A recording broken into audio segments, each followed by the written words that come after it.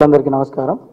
అదేవిధంగా ఈరోజు ఒక గొప్ప నినాదంతో ఒక గొప్ప ఆలోచనతో ప్రెస్ మీట్లో ఉన్నటువంటి అన్ని జిల్లాల అధ్యక్షులకు కూడా నేను మనస్ఫూర్తిగా ధన్యవాదాలు తెలియజేస్తా ఉన్నా. గొప్ప నిర్ణయం తీసుకోవడం జరిగింది. ఈరోజు భారతదేశం అంతా కూడా వేచి చూస్తూ ఉంది.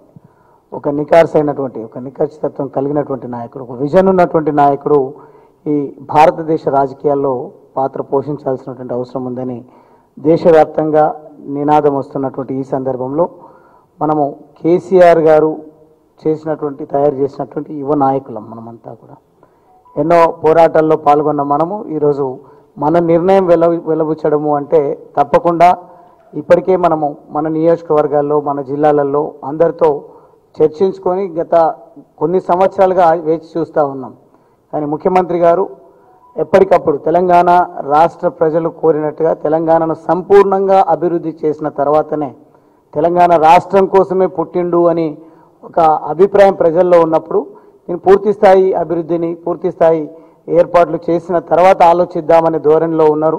ఈరోజు కేసీఆర్ గారు కలలుగన్నటువంటి తెలంగాణ రాష్ట్ర నిర్మాణం జరిగిపోయింది.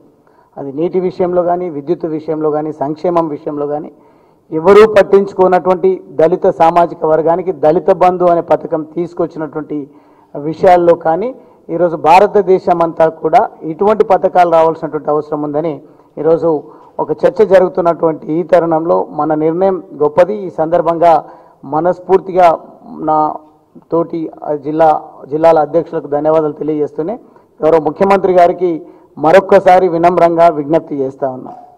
మీ ఆలోచనలు ఆశయాలు ఏవైతే ఉన్నాయో వాటిని అమలుపరిచేటువంటి మేమే కాదు యువ నాయకత్వం రాష్ట్రంలో ఉంది.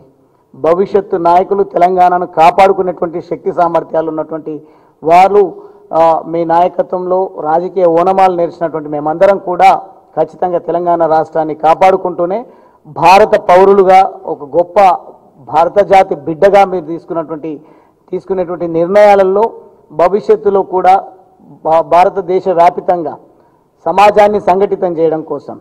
కేసీఆర్జీ సంఘర్ష్ కరో ఆమె ఆప్కే సాథ్ అనే ఒక నినాదం ఇప్పుడు కాదు ఎప్పటి నుంచో ఉంది. అటువంటి నినాదాన్ని మనం ముందుకు తీసుకుపోవడానికి మేము సిద్ధంగా ఉన్నప్పుడు కేసీఆర్ గారు దయచేసి ఒక బాధ్యత కలిగినటువంటి భారత పౌరుడిగా దుర్మార్గాలు అరాచకాలు భారతదేశ వ్యాప్తంగా నడుస్తున్నటువంటి ఈ సందర్భంలో ఒక దమ్మున్నటువంటి నాయకుడిగా మీకున్నటువంటి పేరు ప్రఖ్యాతలు. ఈరోజు పర ప్రపంచమంతా కూడా గమనిస్తూ ఉంది.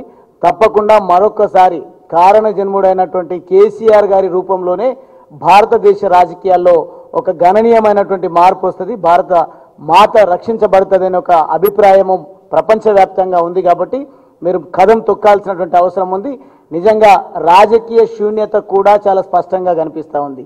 ఈరోజు కాంగ్రెస్ పార్టీ తన వైఖరి ఏందో తెలిసిపోయింది. పోరాట పటిమ కోల్పోయి అధికారంలోకి వచ్చినటువంటి రాష్ట్రాలను కూడా ప్రభుత్వాలను కూలదోసి ఈరోజు అరాచకాలకు పాల్పడుతున్నటువంటి బీజేపీ పార్టీ పైన యుద్ధం చేయడానికి వారు నిరాకరిస్తున్నటువంటి ఈ సందర్భంలో.